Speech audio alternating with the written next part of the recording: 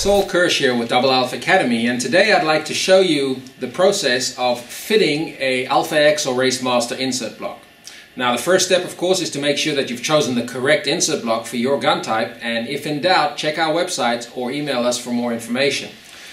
But often you will find with some gun types that a minimum amount of fitting may be required.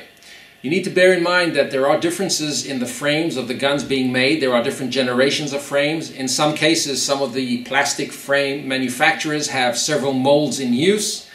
Most of the gun manufacturers do not consider the dimension of the trigger guard to be the most critical dimension on their design. And in some cases, it's something that varies from model to model or generation to generation as it feels, as they feel, it has no impact on the performance. For the Alpha X or Race Master insert blocks to function correctly, it is important that you have a precise fit to the front trigger guard uh, of your pistol. So when you get the correct insert block and you try to fit to your gun, you may find that it is a little bit tighter than you would like it to be, as is the case here with this replica airsoft gun. Uh, this Glock airsoft is made slightly larger than the current frame that's in use. So when I try to insert it, it is tighter than I'd like it to be. Also, the fit to the slide lock tooth doesn't seem quite perfect, and I can see that it's not fully engaging the way I would like it to do. Now, you might see this on uh, some Sig models, you may see it on Glocks, occasionally you'll see it on some of the 2011s as well, where a little bit of fitting is required, and that's what I'd like to show you uh, how you can do and custom fit your insert block to your pistol. The first step, of course, is to dismantle the block. You start by removing the M3 screw at the back. The hex key required for that is part of your kit, the two and a half millimeter screw. This is an M3 screw. Once that is out, in order to remove the slide lock, you need to remove these two pins which are holding the magnetic wedge. You'll need a punch and easiest would be to knock them in from the front towards the back. Keep your finger on the wedge as you knock out the second pin because the magnets are rejecting each other and they will push that wedge out, clear out of the block. Now, once you remove the wedge, you will see the two small 10 millimeter round magnets which make that insert move up and down. Now these two magnets should they come out of the pocket and you in, assemble one of them upside down, the holster will not function correctly. These two magnets are designed to be assembled rejecting each other so that as the slide lock slides past the wedge, it creates these two distinct positions. It's a good habit as soon as you open the holster up to use a marker just to make a dot or a line on those magnetic faces so that should the magnets fall out of the pockets, which can easily happen, you'll be able to put them back with the right orientation. So, now your insert block is completely dismantled. There's no need to dismantle the safety lever usually. And the first thing to address is the tightness of the slot or the fit of the width of the block to the trigger guard. Now on this airsoft Glock, I can feel that the tension is a little higher than I'd want. It's a tight fit going in and I'd like it to enter smoothly and loosely on the insert block. So I'm going to remove a little bit of material from the side of the insert block. Now, an important note is you should always remove the material from the outer side of the insert block, not from the inner side where the safety lever is assembled. There is a reason for that. It relates to the geometry of the slide lock and how it works as it slides up and down. So you should always remove from this side, even though, especially on the Glock insert, it is the thinner side of the two. I'm going to remove just a little bit of material from here. This particular model insert block is open from the back so it's very easy to make this modification using a flat file. I can lay the block flat and using the file, I'll run over the surface until I've removed enough material. I can then use some fine sandpaper to finish it off so I get a nice surface finish. If the insert block is closed on the back, as is the case with the 1911 and several others, you can still use the front, the flat file from above, or it may be easier then to transition to a Dremel using a larger tip than this one here, you can remove the plastic working from the front and slightly widen the slot of the insert block.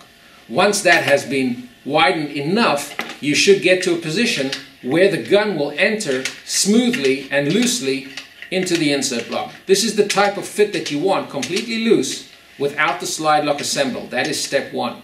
Once you've achieved this loose fit, you can then address fitting the slide lock. Now, the slide lock needs to be tested and fitted while in the block. There's no point holding it in your hand on the trigger guard because the angle and position may be different than how it functions in the block. So you want to insert that, hold it in place with your finger or thumb so that you can slide it into position upwards, seat the gun in, and then take a close look to try and see where the contact with the trigger guard may be a little wrong, where it may be a little bit too tight. In this particular case, it's a little tight. The contour seems exactly right. The fit to the trigger guard, the shape is exactly right. This airsoft replica is true to form of the real Glocks, but it's slightly wider by just a tenth or two, so I'm getting a little more friction than I would like as this slide lock tooth engages with the trigger guard. So what I'll do then is, using my Dremel, remove a small amount of plastic and it is of course easier and faster to remove the material from the upper tooth rather than the lower tooth which will be a higher surface to work on. This upper tooth is usually 4 millimeters in height and you can run your Dremel along that area there just gently removing just a little bit of material. Do this slowly and step by step. Do not remove too much material. If you do remove too much, the gun will become loose and will tend to rock in the holster. Once that's been done, the only solution is to replace the slide lock. Should you need a new slide lock, contact us and we will help you out with that. But when removing the material, be patient, remove just a hair of material at a time and check your fitting again.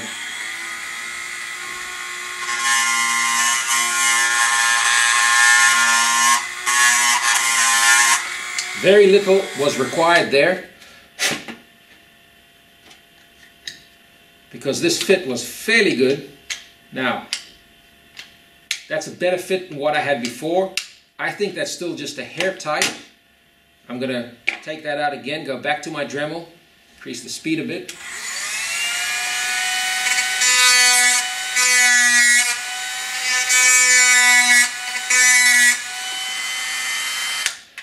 Again, don't rush this step of the fitting because removing too much material will be a problem. Okay, now that's perfect. I've got a really good engagement now. The gun is completely stable. I've got no movement, no rocking between the pistol and the insert block, and it engages nice and smoothly. So at this point, I'm happy with the fitting of the slide lock. I did the fitting of the block earlier, and I'm ready to reassemble. Make sure your magnets are in position. Make sure they're in the right orientation. In this case, they didn't come out of the pocket, so I have no problem there. I'm going to push that wedge into place. The pins can be knocked in from the back.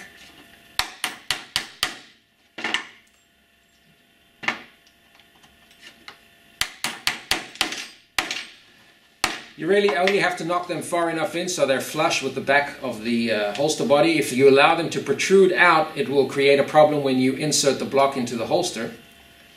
Once the wedge is in place, the final step is putting that M3 screw back into the back of the, of the insert block. Now this screw is here in order to allow you to activate the slide lock externally should that become necessary. If for any reason the slide lock is in the down position and you need to holster the gun, it may be difficult to reach in and lift that tooth upwards. On some models, that slot is a lot narrower than it is on the block. That little screw head protrudes out the back of the holster and it's there to allow you to lift the slide lock up externally should that be necessary.